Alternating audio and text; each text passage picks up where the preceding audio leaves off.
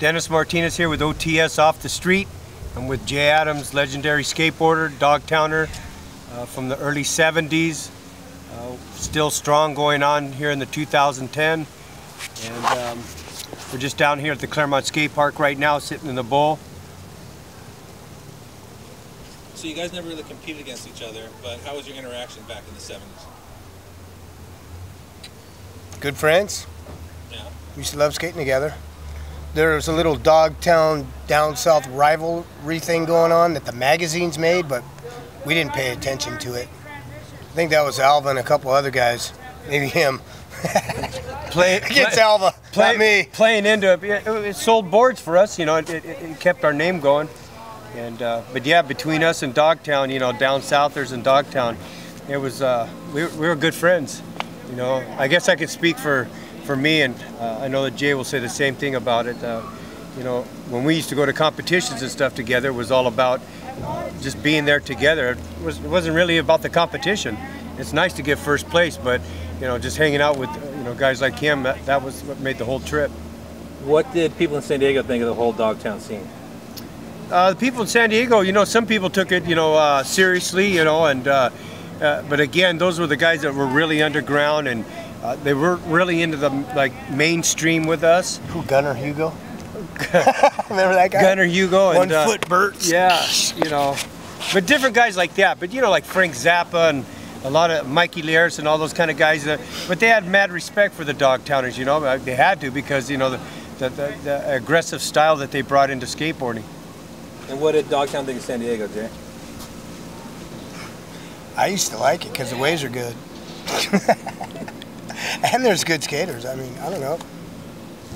I, I just tried to make friends everywhere I went, and I, you know, still got friends to this day. Hey, what's up, man? Hey.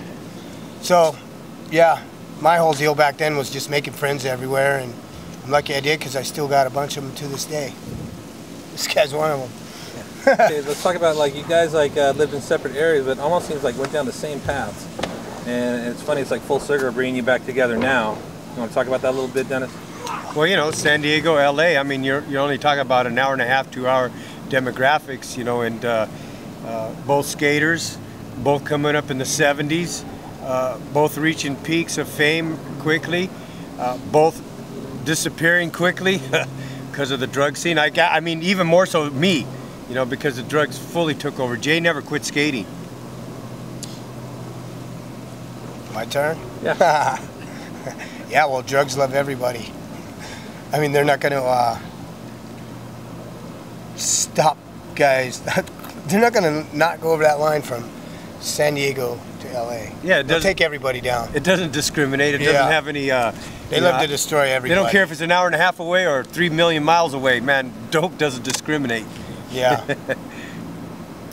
So but now you guys have like uh, gotten things back together. You, Dennis, uh, you know you're, you know you got an incredible story going on now, and you're bringing Jay into the things. How's that?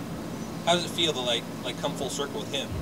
Well, you know, for me, you know, you got your guys that you looked up to in the early 70s, even though, you know, we're about at the same height of uh, skating and stuff like that. But, you know, every one of us has somebody that was uh, their favorite skater. And, you know, mine was Jay Adams back in the day. Rubber man, zipper head, radical style. Uh, you could always expect something insane when he was around. And, you know, to know his story and know where he where he's been and what he's been through, you know, it's a similar story and stuff. And then now to, to do something differently, uh, and and still be able to make a difference now today, uh, I think it's great. And Jay, the path that you've taken has brought you back here right now. What is uh? I mean, how does it feel coming back full circle like with Dennis right now with this? well, I'm just blessed to be alive and to be able to be here and be breathing, you know. We made a lot of mistakes, and hopefully we can um, help some kids not make those mistakes that we made and travel down the same road we did. So, just there's more purpose in life, you know, hanging around Dennis and doing what he's doing and being involved with him. So it just feels good to be here, man. You know, feels good to be alive and be able to go skateboarding again. Very fortunate and blessed to be able to do this. A lot of guys didn't make it, you know. That's for real. Well, then a lot of guys too that are uh, uh, still out there, but not doing what we're doing. You know what I mean? just they're into the skate scene, but we're into changing lives today, especially the youth.